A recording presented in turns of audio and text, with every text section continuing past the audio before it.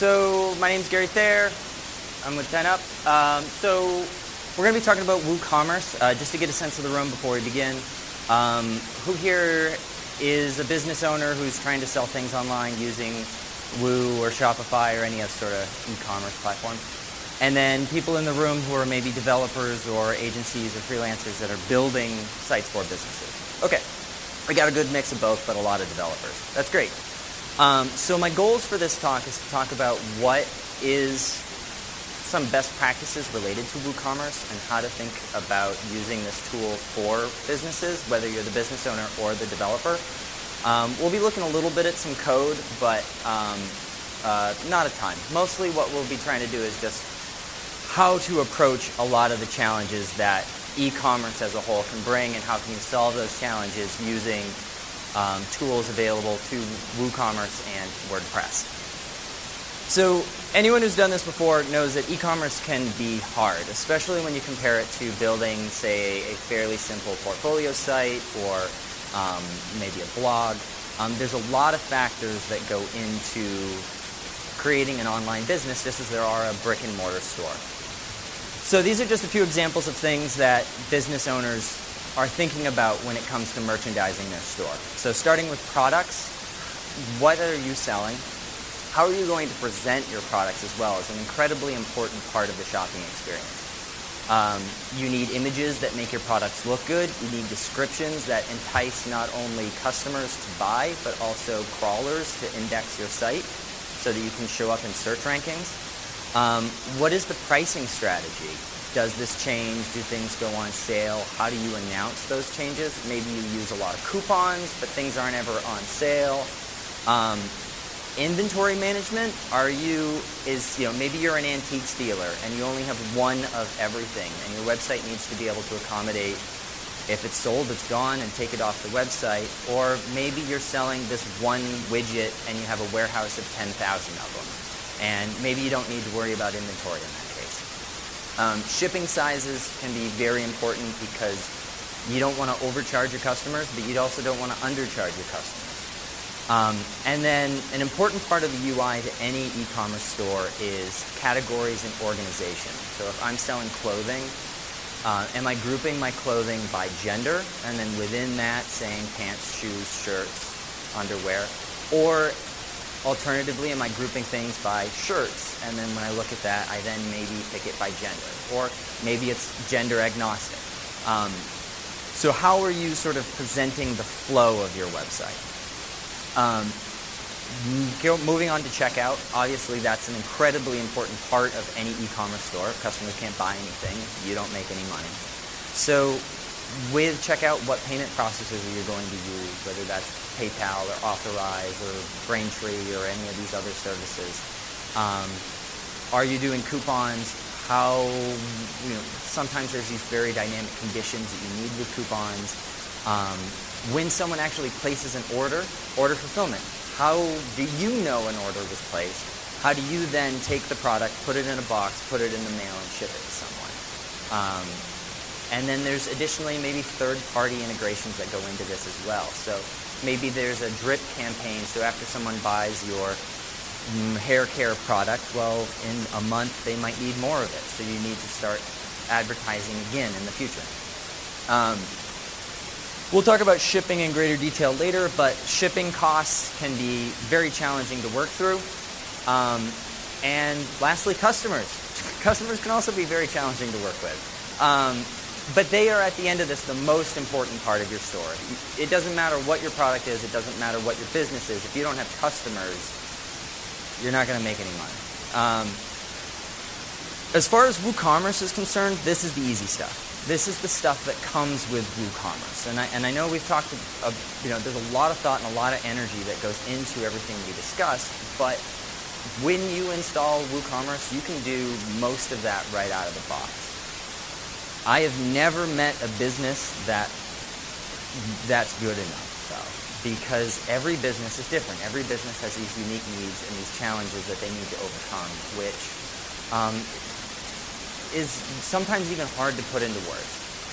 Um, so these are just a few examples of businesses, um, stories that I've, I've had working with businesses. So my store sells perishable products which need to be shipped and delivered on a specific date. This is not in WooCommerce. In this case, they sell um, flowers, and the flowers need to be able to be delivered in a way that they don't show up dead and wilted and damaged and destroyed. So we need to do overnight shipping for everything, but flowers are generally gifted for holidays and anniversaries, so they need to be delivered on a very specific date which now means that I need customers to be able to select this date.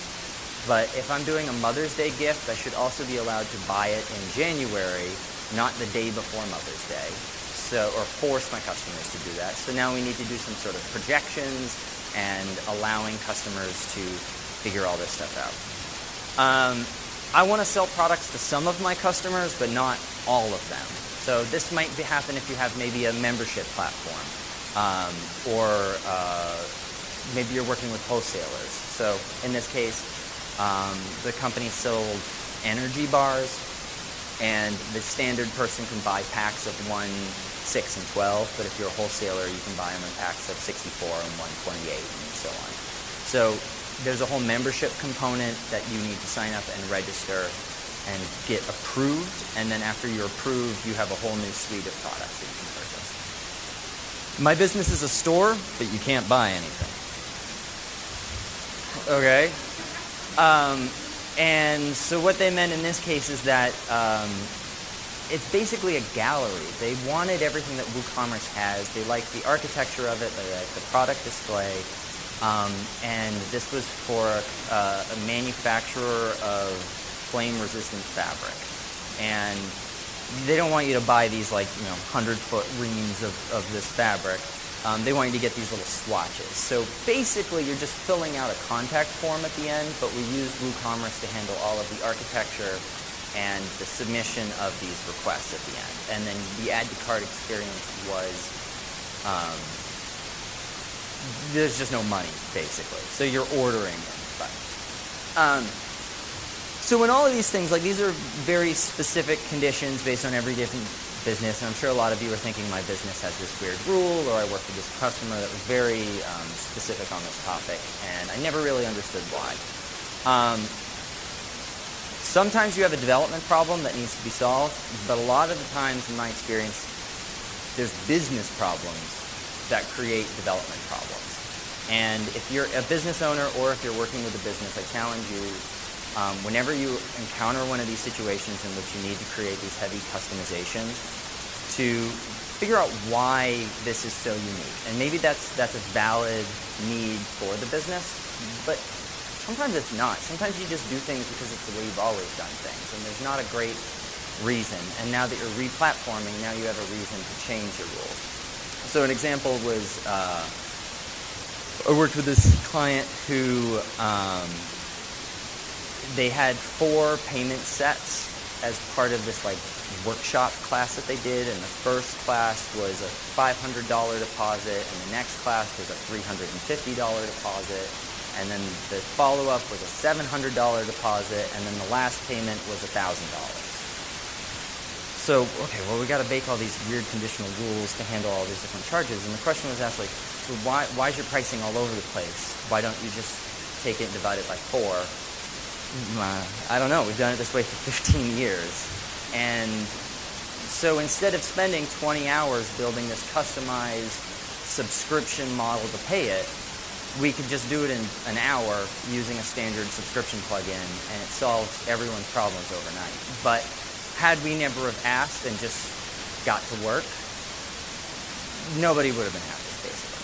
So, um, so, but you are actually going to have to customize things. And we're going to look at a couple ways of doing this. So um, the most common and simplest method to customize WooCommerce is by modifying the template files directly. So if you're, if you're not aware of this, inside of the WooCommerce plugin, there is a, a folder set. So if you go plugins, WooCommerce, templates, um, basically everything that handles the front end display of your website is um, set within those folders. What you can do is you can take those files, copy them out of WooCommerce, and paste them into your theme or your child theme. And then whatever edits you make inside of that theme will then be reflected on the front end of your website. So this can be a very simple way of, um, okay, I got an image on one side and I got text on this side and I just want to switch it. That can be a very fast way of doing this. Um, and if you're not a strong developer, maybe this is your first time popping under the hood, this can be um, a very straightforward and easy managed way to do this. Um, however, if you've ever been in this boat, you might recognize this screen. Um, and so this was this was one of the sites I was working on where um, when WooCommerce went from 2.x to 3.x, they changed a ton of template files, which is great, and that's why WooCommerce is, WordPress in general is wonderful, is because everything's evolving and changing constantly and getting better. But these theme files are um, they eventually become out of date because WooCommerce changes its best practices and it gets better and you got to get better along with it. So in this case, we had very heavily modified a lot of these theme files. And when this 3.0 update came around, we got all of these error warnings. And we had to go into every one of these files and identify what was the original file, what did we change, and what did WooCommerce change and then we got to marry all of that stuff into a single update. Um, so um, my recommendation here is if you can avoid modifying these template files, do that. It's um, it's pays dividends down the line. If you're going to excuse me, if you're only going to do one or two little minor edits, this is a fine solution. But if you're going buck wild and just adding in a whole new CMS built into these template files, you're going to regret it later. Um, when you do make these edits, very clearly mark the start of your edit, the end of your edit, and the intent of your edit. Because, you know, if you're lucky, WooCommerce might be doing the thing you want it to now. Um, so you want to know, you know, why you've made those changes. Um, if you're making large functional changes, I would recommend doing those changes in a separate file and then linking that file in here, whether you're doing an include or um, adding your own uh, do action. We'll look at actions and filters in a bit, but uh, if you're not familiar with that. But the benefit there is instead of copying your whole code block, you're just copying this little snippet, and that can be brought into the new um, new theme file much more easily. Um, and then we talked a little bit about it already, but when it does time come, come to these updates, you have to look at what was the original version of Woo, what is the new version of Woo, what did they change, what was the original version of Woo, what is your edited version, what did you change, and then what's the best means of, of marrying this? Is it better to add WooCommerce's edits to your file, or should you add your edits to Woo's file? Um, so not a lot of fun. Um, there's actions and filters. Um, is there anyone in this room who's maybe not familiar with actions and filters and how they apply? A couple hands up. Um, very brief crash, crash course in these. Um, WordPress has uh, an API that allows for developers to inject um, pieces of functionality into their processes. An action is just like a little bookmark that says, when I hit this process, look for all functions that can get run at this time, run them, keep moving, hit another bookmark, run a bunch of other actions. Um, filters, um, content comes in, content gets modified, content comes out. So things get filtered through this process. Um, if you can make changes through the use of actions and filters, I'd highly recommend doing this because actions and filters don't tend to deprecate. They tend to stick around for a while, and um, WooCommerce will just bring them through every template as they override uh, in the future. Um, this does require a stronger understanding of WordPress development as a whole, and it can be more challenging for entry-level developers to start working in this format. Um, but I, I, challenge everyone to um, take a shot at that. Um, so before I move on, um, I just want to stop quickly. Does anyone have any questions about stuff we've discussed so far? You can do questions at the end too, but I'll No? Okay. All right, cool. Um, so this is an example of um, some edits that you might want to make using uh, actions and filters. So in this case, we have, um, let's see if I got a laser point. I do. Okay. So this function, add custom checkout field. So in this case, this set is trying to add a custom checkout field that asks for the last four of someone's social security number. Obviously, there's a lot of security concerns that could go into this, but I think it provides a, a nice little example. Um, so in this case, we write one function which says add custom checkout field, and we're giving it a set of arguments. So in this case, we want a text field. We're going to give it the class of social security field. It's labeled as last four of social, and it has a max length of four characters. I, again, makes sense so far, I hope. And this is a required field. We then run the function WooCommerce form field, and we basically name what is our new field going to be. Here is our action. So inside of WooCommerce, somewhere it says do action, WooCommerce before edit notes. So anywhere that any function which gets hooked to this WooCommerce before order notes will then run during this process. Um, so if I could write five or six of these functions, and I'll now have five or six new fields that will show up before the order note section of my contact form, or of my checkout form, rather. Um, this just adds the field. It doesn't do anything with it yet. So in this case, we want to validate it. We want to make sure, did someone actually give me a social security, the last four of their social in this case? So there's another action we're going to run called WooCommerce Checkout Process. And this, when someone hits that submit button, it, a whole bunch of function, functions are run at that point. Uh, WooCommerce Checkout Process is one of them, and that wants to run is SSN valid. So here's the function for is SSN valid. It, from the post, gets the last four of the SSN, checks to make sure that it's actually set, and then if it is set, it double checks to make sure it's actually a number. You don't want letters to show up in a social security number. Um, and if it's not a numeric value, you send back a notice that says it, it must be a number, try again. This will prevent payment from being processed. This will prevent any sort of third parties, in theory, from being triggered. Um, this will just show one of those notices at the top of the screen. Um, additionally, if the SSN is not set, we want to send a notice that says, hey, you forgot to enter this. Please do that now. now we got to actually save this. So if this is valid, then um, so we have another action in this process. So WooCommerce checkout uh, checkout update order meta. So this function is run after someone hits submit, after the form has been validated, after payment has been accepted, and after the order has been created in the database. So the process is done, and what we're doing now is we're just taking that saved order and we're modifying it so that we can now um, save this meta value of the social security number to the order's history. So in this case, we're again looking for the order.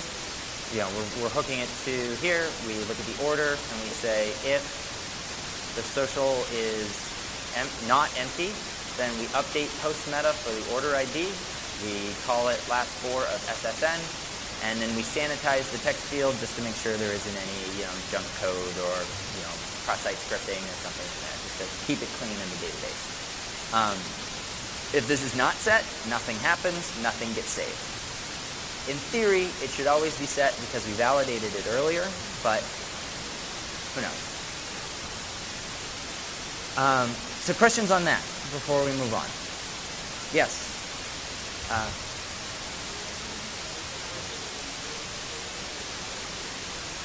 mm-hmm. Correct, yeah. So the question was by validate, the validation that we performed is based on is this a number? We did not go to the Social Security directory and confirm the identity of this person. That's correct, yes in theory, if there was some API where one could do that, you could hook it in at that point and say, hey, you're a real U.S. citizen. Congratulations. You can buy my product. But, um, but yeah, you're right. We're not validating it in that sense. But we could, in theory. Um, so the any other questions before we move on? No? Okay. Um, So what we just talked about was sort of a back-end process of um, when you know you want these sort of performance-based process functions to work, and they all kind of work behind the scenes. Actions and filters can also be applied in the front-end context as well. So this is a quick little example of um, if you were to pop open the WooCommerce single con uh, content single product.php, which is the template file which shows on the product page, um, you'll see that in the comment they've notated which functions are currently being hooked to this do action. So if you remember, do actions are the bookmarks where functions are fired.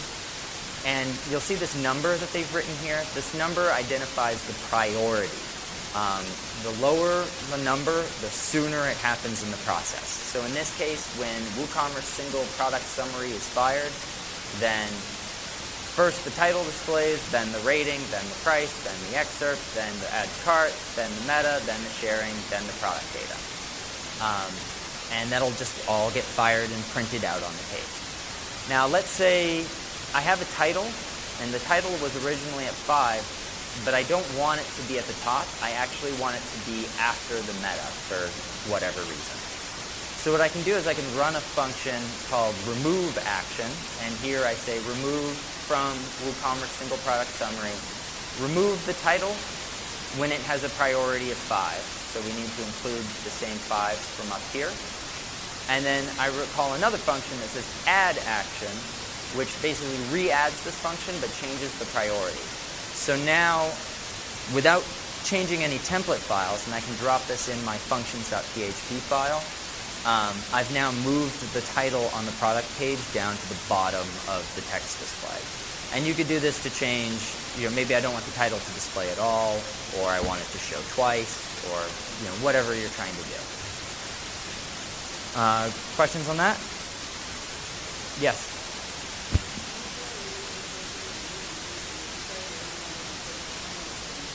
Yeah, it's just a topic.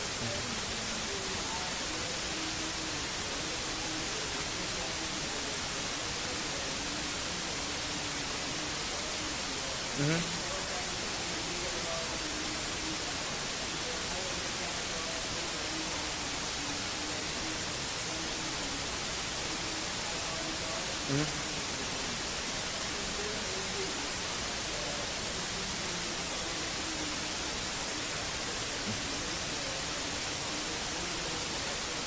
Sure.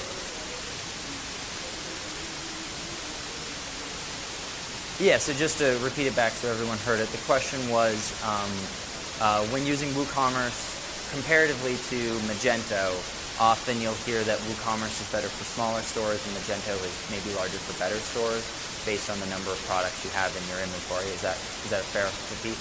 Um, and what, what can you do to handle that? Um, I've heard that as well. I don't think that's an unfair criticism of WooCommerce. I think that kind of stems back to some of the problems with WordPress's database instructor, where um, everything just gets shoved in the posts table. Um, I do know that there are ways to better optimize that. Um, I've seen two plugins recently, one of which which moves every shop order into its own database table, and another which moves every product into its own database table. Um, so I haven't used them personally, but I do believe products like that can exist, do exist, and can help in this purchase. Um, I have built a WooCommerce site that um, had 25,000 SKUs, and from the customer standpoint, it generally didn't make a big difference. However, from an admin standpoint, when you're like, I'm adding a new product, then you get these huge queries. And um, there's definitely room for improvement there. I don't have Magento experience myself, so I can't speak to how Magento works, but um, there are ways to better optimize off WooCommerce core. I, I hope that answers your question somewhat. Um, moving on. So another way to customize your plugin, or to Woo, customize your store, is by using plugins. You know, we were looking at options for writing your own things, but the best part about WordPress is a lot of these things are already written for us. Um, there's a lot of really great plugins out there. personally, I tend to stick to, to the woocommerce.com slash plugins. These are all sort of approved by WordPress um, or by um, WooCommerce, and, and there's a lot of great tools on there. There's um, not to say there's anything wrong with anything else, but I, I just think all of these speak to very high quality. Um, typically, all of these are written in a manner that reflects best standards within the WordPress and the WooCommerce community. So they include actions and filters and templates that you can override in the same manner we've already discussed. Um, but this isn't your code, too. You know, they didn't write this with your business in mind. They wrote this with a thousand businesses in mind. So it might get you 100% there. It might get you only 80% there. Um, kind of depends on what your need is. So just a few recommendations that I like out of the box is um, Woo subscriptions is a really useful one. It's very um, extendable. So, you know, I gave the idea, uh, the example earlier of a deposit-based system for this workshop. We were able to do that through a subscription model. It's just a four-payment subscription base. Um, we've also used subscriptions. I've, I've used subscriptions for um, basically making products, um, like, you know, it's a $10 product and then you pay $90 down the line for whatever reason. Um, you can do a lot with it. Um, WooCommerce one-page checkout is kind of an interesting one. It combines the product page and the checkout page into a single template. And that works very well if you're doing um, like PPC landing pages or newsletters or anything of that nature. So you have one product you're trying to sell, why go to the product, the cart, the checkout, the thank you page when you can just go to the product and tag? Um, URL coupons is kind of interesting. It um, allows you to set URLs. So maybe you're doing like a radio campaign and you can go, go to mywebsite.com slash radio and get 10% off your order. And when someone hits that domain, it will instantly add a 10% off coupon to their cart. Um, so that, that can be really useful. And you can use it for like, click here and get 10% off. And it, it just adds some great features. Um, PDF invoices is nice, especially if you need some sort of like packing slip or something that is uh, customer focused. Instead of just having some kind of you know ugly template, they're out of the box pretty nice looking and they're pretty editable as well. Um, so this is everybody's favorite topic. Um, so shipping is um, awful. Yeah, that's a, that's a safe word. Um, so we're going to look at a couple models for that, but um, it, it, this is a hard one, and this is generally one that a lot of people have questions with, even people that have been doing this for years. Um, this is a very common way, especially someone's approaching WooCommerce or e-commerce in general um, for the first time. This is the way they imagine shipping is going to work. Is somebody um, somebody goes to the shop, they order a bunch of products, I hook it up to the UPS API, and it automatically knows exactly the dollar amount to be charged in this case because that's how math works. Um, and this is an example of what's called the bin packing problem. So in this case, we have nine items and five boxes. And in theory, if you know the exact size of your boxes and the exact size of your items and the exact weight of your items, then these APIs can calculate all this out, go out, request the cost, come back and say it'll cost you this much. Um, I'm going to guess most people who are business owners do not know the exact dimensions of every product, let alone the exact packing dimensions of all of their products do the standardization of the boxes in which all of these things are going to go inside of. And then they just kind of wind up tearing their hair out trying to get this exact perfect answer to the problem. And in my personal opinion, it ain't a perfect world and it's often not going to work in this case unless you have the resources to really put a lot of time into this. Um, that's why I try to recommend what's called table rate shipping. Table rate shipping takes a much broader approach to this, and instead of instead of dealing with the minutia of a per order basis, you, you have to think of all of your orders in the aggregate. I'm going to make some money here and I'm going to lose some money here, but when I look at everything as a whole, I want it to come out just about right. Or you might go, yeah, I'm going to try and undercut shipping because nobody likes to pay shipping, and I'm going to increase the price of my products. And it just gives you more flexibility. Um, and then if it doesn't work, change it, keep moving on. You don't have to deal with some third-party API and get a developer to try and modify it for you. Um, so in this example of table rate shipping, we're using the shipping classes. So anytime you have a product that is, has a medium shipping class and there's between one and a thousand of them, charge a minimum of $5 and then $3 for every additional product. And then in here we have anything that's small and if we have between 50 and a 1,000 of them, charge 10 for the order and one for each product. And you know, down here we have a similar rules for small, but it defines between 1 and 49. It's a $2 cart plus a dollar for every product. Um, I find this a lot easier to work with, um, and you can you can play with it, and you know your mileage will vary. But um, so comparing these two against each other, the bin packing API, in theory, should be exactly correct every time. Um, the math is done for you, and there's plenty of um, plugins available through UPS and FedEx and Canada Post and wherever you're shipping these things through. Um, and oftentimes they may even include packing labels that you can just slap on the box and some truck comes and you know everything's done for you. Logistics are great. Um, this requires uniform packaging, not only of the packages that your products are actually come in, but the boxes that all of your packages are being shipped inside of. So, you know, if you're Amazon, you know, I'm sure most of us have made purchases from Amazon, you usually get things in one of three sizes because they have uniformity in their logistics. Um, a lot of small businesses, and I've spoken with people that want to use these APIs, and they'll say like, so what's the size of the boxes that you use? And like, mm, it's just whatever we have lying around. There isn't an API for what you have lying around. Like we don't, we can't guess this. Like, so, um, so it's going to be wrong. How comfortable are you with this? So, um, additionally, you not only so often people, and I always use my water bottle as an example. My water bottle is 10 inches tall. I don't know, 10 inches, and maybe three inches, four inches wide, right? But my water bottle came in a box that was probably an inch taller and an inch wider. And on my website, I want to say that it's 10 by 3 but I need to ship it as 12 by 4.